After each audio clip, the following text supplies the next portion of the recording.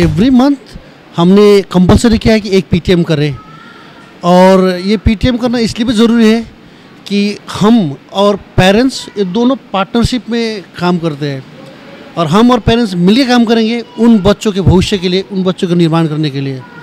तो पीटीएम मैं तो चाहता हूँ कि हर पीटीएम में हर पेरेंट्स आए और अपनी जो भी चीज़ें वो हमसे शेयर करें और हमारे पास जो है, हम शेयर करें ताकि हमें और उनको दोनों को मिल इन बच्चों का भविष्य निर्माण करना है। एकेडमिक होता है सर इनकी कल्चरल एक्टिविटीज़ होता है, इनकी फ़िज़िकल एक्टिविटीज़ होता है, और इनकी इन्वॉल्वमेंट बाकी चीज़ें में, उनकी किस चीज़ में रुचि है, किसी को म्यूज़िक में, किसी को आर्ट्स में, किसी को गेम्स में तो ये सारे होलिस्टिक ग्रोथ और हम देखते भी इसी तरह से, हम उनका जो रिज़ल्ट होता है, उनका जो मूल्यांकन करते हैं, वो भी होलिस्टिक सिर्फ़ पढ़ाई को लेके नहीं तो उनकी खेलकूद में, उनकी बाकी चीज़ों में क्या में इंटरेस्ट है?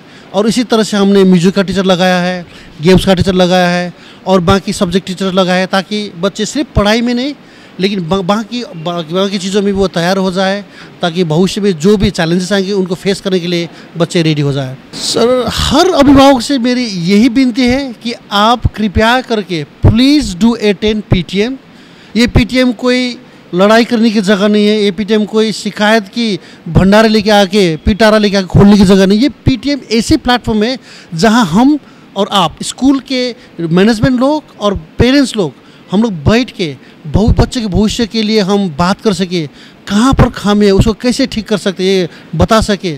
तो ये एक ऐसी जगह है जहाँ हमें मिल के एक साथ आके बात करके बहुत बच्चों के भविष्य के निर्माण कर पाए। मैडम ने बोला है ठीक है बोलेंगे इन बच्चों को डांट पिलाएँगे। ये सोच के आते हैं कि बच्चे मतलब गुडी करता है क्लास में और टीचर भी बताए कि मतलब जैसे सही है बच्चा है गुडी है। अच्छा। टीचर अच्छा ही बताती हैं सही है हमारा बच्चा पढ़ाई करने में और है ना भाई, सही क्लास में भी सही है, ज़्यादा मतलब मेरी गुड़िया तो वैसे भी मतलब वो है मस्ती नहीं करती मतलब ज़्यादा क्लास में शांति से और जैसे रोटेशन के हिसाब से मैम बैठाती है, आगे पीछे बच्चों को, कमज़ोर बच्चों को भी आगे लेती है। मेरी सही है बेटी पढ़ने में भी। जो टीच पेरेंट्स होते हैं, उन, उनका जो स्टूडेंट्स हैं, उनके बच्चे, उनके लिए अलग उन, उनको, उसके बारे में उनको अलग पता है। और जो टीचर्स पढ़ा रहे हैं, उसकी नॉलेज उनको देने के लिए कि बच्चों का परफॉर्मेंस कैसा है और बच्चे क्लास में किस तरह से रिएक्ट कर रहे हैं। अगर उनमें कोई कमी है तो उसे वो किस तरह से हैंडल करें घर पर भी। घर पर उनको ध्यान दें लर्निंग की, उनको स्टडी के लिए बिठाएँ उनको लर्न करवाएँ, उनको प्रैक्टिस करवाएँ, क्योंकि टीचर के पास जितना टाइम पीरियड है, उससे मैक्सिमम टाइम वो अपने पेरेंट्स के साथ रहते हैं। तो टीचर जो कुछ भी सिखाता है, उसकी प्रैक्टिस की नीड बच्चों को होती है। सर टेस्ट लिए जाते हैं क्लास में तो वो टेस्ट का रिकॉर्ड भी रखा जाता है डायरीज़ में भी उनको मैंशन किया जाता है। पेरेंट्स को बोला गया है कि आप डायरी साइन कीजिए। जो टेस्ट का रिकॉर्ड है, वो दिया जा रहा है, उस पर भी साइनिंग होते हैं और उन टेस्ट बुकलेट्स को नोटबुक में लगाया जाता है, ताकि हमें उनकी परफॉर्मेंस पता रहे और पेरेंट्स को भी पता रहे कि उनका बच्चा किस तरह के इसके अलावा time to time F A one F A two conduct किए जा रहे हैं और उनका जो भी रिज़ल्ट है उनको दिया जाता है। उसके बाद पीटीएम रखी जाती है, जिसमें पेरेंट्स भी आकर अपने एक्सपीरियंस शेयर करते हैं और उनको अगर कोई लेकिंग लगती है तो वो आकर टीचर्स को बताते हैं। तो ताकि टीचर्स उसके अकॉर्डिंग अपना प्लान तैयार कर सकें।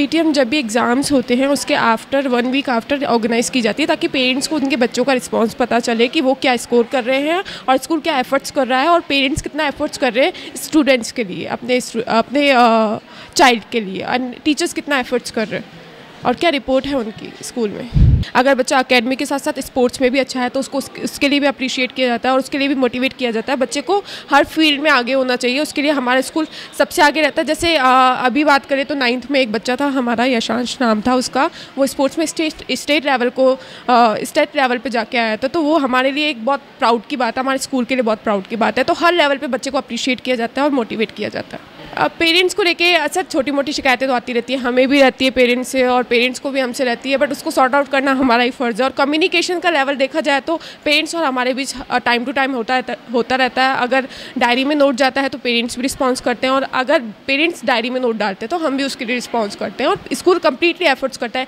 टीचर्स की बात करें मैनेजमेंट की बात करें, अगर बच्चों की बात करें, बच्चों का भी एफर्ट्स बच्चों का भी एक तरीके से डेडिकेटिव वो भी टीचर्स टूवर्ड्स बहुत है और टीचर भी अपने बच्चों के लिए डेडिकेटेड बहुत है। पेरेंट्स को मैं यही सुझाव देना चाहूँगी कि अगर पीटीएम ऑर्गेनाइज की जाती है तो वो सिर्फ़ पेरेंट्स के लिए की जाती है। और अगर पेरेंट्स यहाँ पे आके अटेंड नहीं करेंगे तो वो एक तरीके से हम कम्युनिकेट नहीं कर पाएँगे। एक फेस टू फेस कम्युनिकेशन और एक डायरी नोट कम्युनिकेशन बहुत डिफरेंस हो जाता है। तो मैं पेरेंट्स को यही सुझाव देना चाहूँगी कि वो प्लीज़ टाइम टू टाइम अपने बच्चों के लिए टाइम निकाल के और स्कूल में टीचर से मिलने आएँ और अपने बच्चों का जो भी उनका ग्रोथ है वो जज करें यहाँ पे आके। मैं प्रोग्रेस के बारे में पूछती हूँ, कैसा है, पढ़ने में कैसी है और कैसा इन लोग का प्रोग्रेस हो रहा है, बस यही। और टीचर तो कभी इन लोगों को गलत बोलते नहीं क्योंकि ये लोग बहुत अच्छा पढ़ाई करने में है और एक्चुअली यहाँ के टीचर भी बहुत अच्छा पढ़ाते हैं।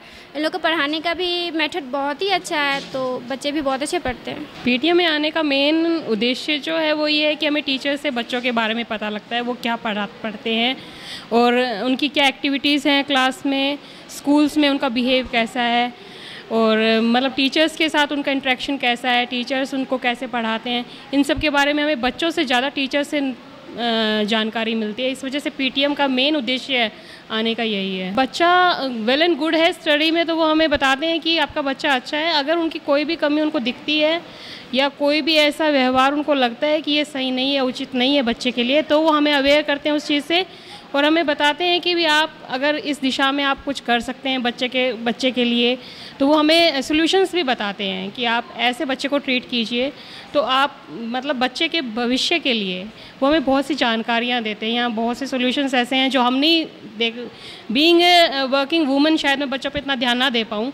तो टीचर्स ही हैं वो जो हमें बताते हैं कि भी आप कैसे अपने बच्चे की स्टडीज़ को इम्प्रूव कर सकते हैं या उनके बिहेवियर को या उनका जो ऑल ओवर जो उनका पर्सनैलिटी है, वो डेवलपमेंट कैसे हो सकता है, वो बताते हैं हमें। बेसिकली तो बच्चों को जो है, वो पढ़ाई के लिए मोटिवेट करने के लिए कंप्लेन होती है। एज सच कोई कंप्लेन नहीं होती है।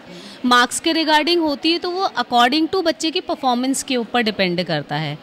बाकी एज सच कोई कंप्लेन नहीं होती। छोटी क्लासेस में फिर भी थोड़ी बहुत कंप्लेन होती है कि बच्चे को आगे नहीं बिठाते या पीछे ऐसा कुछ वो वाली कंप्लेन होती है।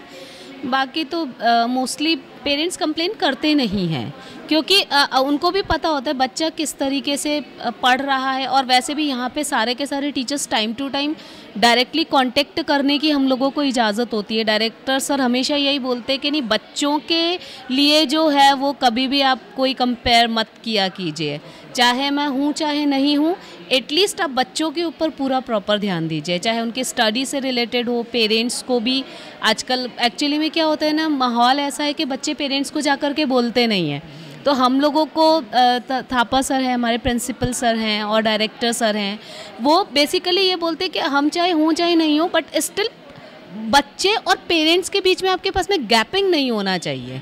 क्योंकि पेरेंट्स भी साथ के साथ ही वो सबके सब सब चीज़ें जानने के इच्छुक रहते हैं कि भाई हमारा बच्चा कर क्या रहा है।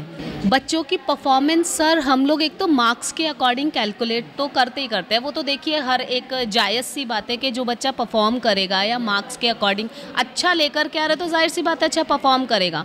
बट जो बच्चा एवरेज है और उसका ग्रैपिंग पावर बहुत अच्छा है तो हम बच्चे को मार्क्स के अकॉर्डिंग नहीं जज करते। फिर हम उसकी ग्रैपिंग पावर के अकॉर्डिंग और सब्जेक्ट वाइज वो कितना ग्रैप कर रहा है, उसके अकॉर्डिंग हम लोग जो है, वो उसको देखते हैं। क्योंकि देखिए सर, कोई ज़रूरी नहीं है। नाइन्टी सिक्स वाला बच्चा भी घर पर बैठा हुआ रहता है और फिफ्टी परसेंट वाला कुछ ना कुछ अचीव करके आगे निकल जाता है।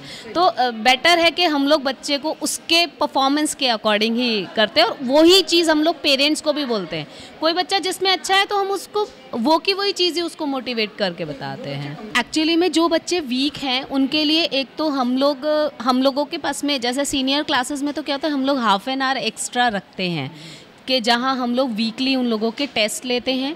और एक कद सेशन होता है, जैसे कभी मैं प्रैक्टिकल करवा रही हूँ और किसी बच्चे को प्रॉब्लम है तो वो बच्चे को भाई प्रैक्टिकल तो सब लोग कर रहे हैं तो उस टाइम पर हम जो है प्रैक्टिकल करवाते भी हैं तो थोड़ा बहुत टाइम हम लोग अपने लिए स्पेयर भी रखते हैं, ताकि वो बच्चे को जो है अलग से बिठा करके हम उसको समझा सकें। और ये चीज़ सब पे लागू होती है, मेरे पास नाइन्थ क्लास का बच्चा भी आकर के समझ जाता है टेंथ का भी।